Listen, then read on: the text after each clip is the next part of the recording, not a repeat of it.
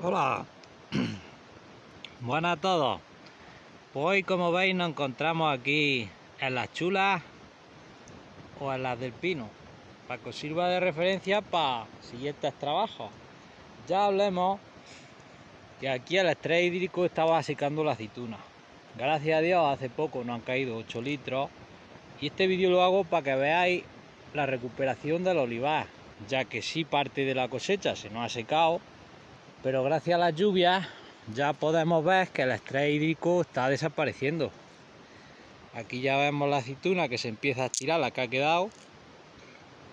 Todavía se aprecia ahí alguna ruguilla, pero poca cosa. También vemos pues esta aceituna que se secó. Esta aceituna de aquí a unos días, cuando el olivo ya empieza a trabajar, que ya está en ello porque ya se puede ver el cambio de color de los olivos estos olivos ya se están poniendo más verdes. Ya tiene humedad para que empiece a trabajar. Solamente nos cayeron 8 litros una noche. Cayeron bien caídos despacito todavía queda algo de humedad y con esa poquita agua pues el olivo ha empezado a trabajar y se está recuperando ya gracias a este agua y la poca que empieza a caer, el cambio de temperatura, ya se aplaca la, caída de la aceituna y ya dejamos de perder cosecha. Este olivar habrá perdido un 20%, que conforme venía el año, yo creía que iba a ser todo, pero ahora os voy a pasar a enseñar otro olivo que no se le ha alcanzado tanta más bajos, en zonas más mejores y no había tanta caída. Pero claro, sobre esto hay que tomar nota y meterse también a ver los olivos que se le ha caído la aceituna y por qué. Porque ahora que estoy espestugando a esta oliva que anteriormente la ha llevado otro arrendatario, pues me estoy dando cuenta de la poda tan escasa que tienen mal ejecutada y luego pues que como se dice no hay ni un hueco de vida en ningún olivo. ¿qué conlleva eso? pues que los cortes que hacen para fomentar renovaciones no lleguen a echar brotes y nos encontremos ramas pues que están muy mal que tiene una rama sola y claro no tiene retallo como para seguir podando. Entonces está malamente la poda esto hay que gestionarlo de otra manera. Nos vamos a acercar un olivo al azar. Vamos a ver cómo está. Este aquí, por ejemplo, se le ve la cabeza esta. La distribución aquí en esta es buena. Aquí vemos tres ramas, que no está mal dejado, pero tenemos una rama encima de la otra. Y luego que estaba directamente para arriba. Lo suyo sería eliminarla no haberla dejado y luego aquí lo que os digo como las renovaciones que han hecho no han tenido sombraje y cuando lo han tenido se ha renovado como aquí vemos no han ido entresacando pues luego nos encontramos aquí un lío. Todas las de este lado se van a ir para abajo y va a quedar una para arriba y entonces al final pues no. Eso yo hubiera sido quitar esta quitar aquella y quitar esta y dejar una y dos y esto de aquí eliminarlo. Luego aquí como no encontraba la forma de renovar pues he ido a renovar en pipotes como digo yo. Eso no nos valdría. Sería quitarlo y dejar eso. Entonces dejaríamos una dos y tres. Se quedaría el pie renovado se quedaría muy escaso de ramas pero es lo que hay que hacer. Esto que conlleva dejar tantas ramas y, y tanta cosa pues que luego el olivo no da para tanto. Hay muchísima madera, poca hoja, luego por ende el desarrollo del grano del fruto es un diámetro muy pequeño, esto luego para tirarlo al suelo nos vemos negros y luego aparte de que cuesta muchísimo trabajo tirarlo al suelo, es un cultivo que hay que mantonearlo por la dificultad del terreno. Entonces, esto gestionándolo bien va a traer un ahorro de jornales reducción de cosecha por kilos, pero ganaremos rendimiento. Porque esto lo que nos interesa es que el fruto caiga bien y que no nos estemos dando una paliza aquí buscando aceituna entre los senos estos tan tupíos. Y esta es de las mejores olivas que he visto, porque en el tiempo que llevo espestugando a estas fincas que llevaba este arrendatario, me he encontrado con muchas ramas anudadas, entrecruzadas, tarracadas, un estropicio de poda. Luego ramas casi siempre rastreras, hacía el tratamiento de las pestugas y no sé con qué aparato se lo hacía, que fogaba hasta arriba y claro, todo esto está seco de retallo. Y luego de esto de que no encontramos aquí la cabeza y luego sobre cabeza hay mucho. Entonces lo suyo es la cabeza en su sitio, cortar y esperar y si no puede de aquí porque es muy viejo y no cría porque tiene todas las llamas secas, criamos de las ramas de los laterales y vamos sacando una cabeza en su sitio. Luego tenemos cabezas bajas, cabezas altas, luego tenemos ramas que salen en los costados, un desastre poda. Claro, el olivo, por muy mal que lo poda, siempre tira a la misma forma, a redondearse. Pero en esa forma esférica hay que hacerle entrantes, salientes, para que entre el aire, luego para que no se críen hongos. Este está debajo del pino y si nos acercamos, fijaros qué gran cantidad de, nudos, de ramas, de crestas, de todo. Y ramas que ya están muy dañadas. Y luego, fijaros qué nudos de palotes. Esto es lo más sano. Por aquí. Dejamos esas dos hasta que se renueve.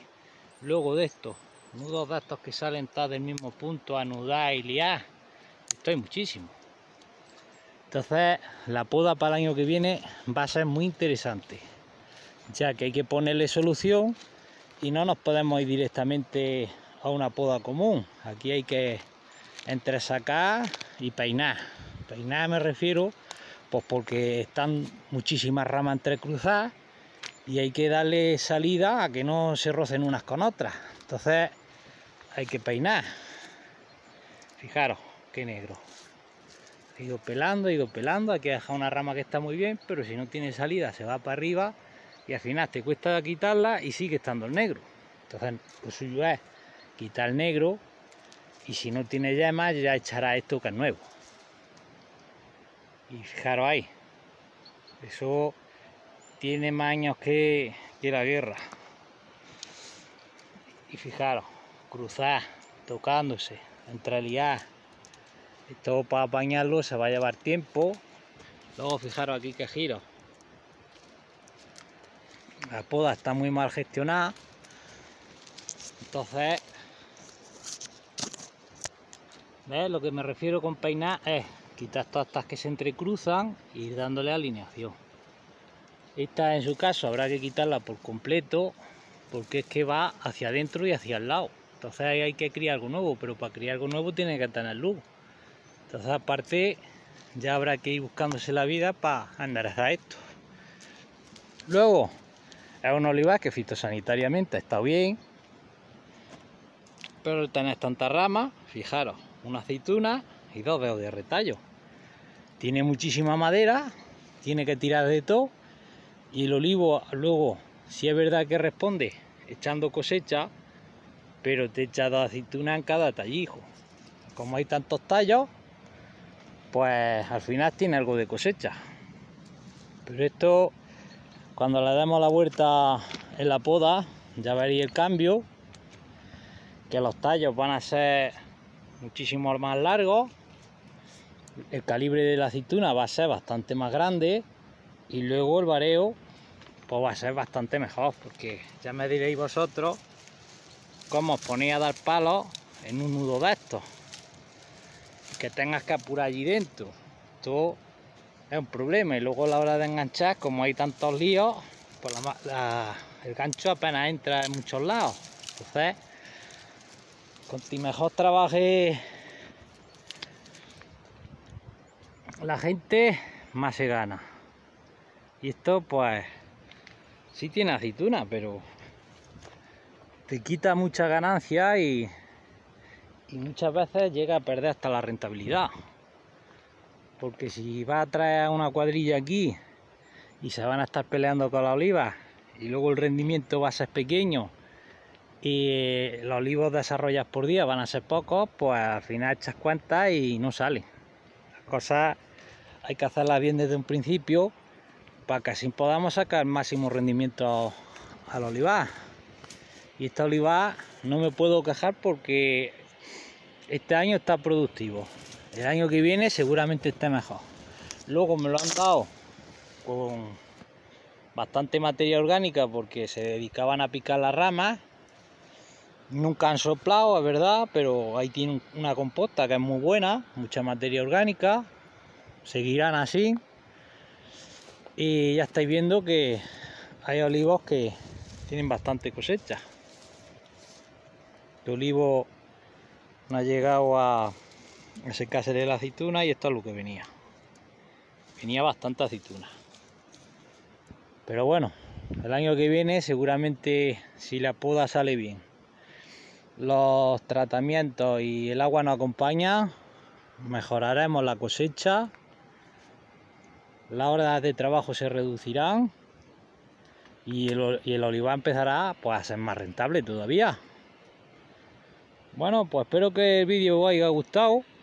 Como siempre, os mando un saludo a todos, invito a que os suscribáis y ya iremos viendo poco a poco la transformación de esta olivar y veréis cómo se puede hacer aún más rentable una cosa que ya es productiva pero claro desde el punto de vista de agilizar los trabajos y mejorar el rendimiento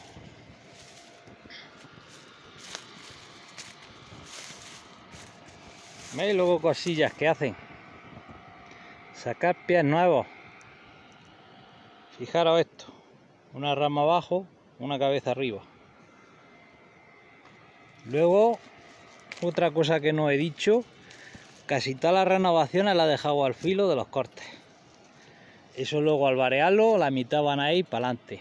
Por eso, esta poda en verde la estoy haciendo solamente de la parte de abajo, porque ya lo de arriba apenas hay nada y ya pues me tocará de apañar luego la motosierra porque es que hay veces que está tan tan tan anudado que no entra ni el pestugado ya estáis viendo bueno lo dicho un saludo y hasta el próximo vídeo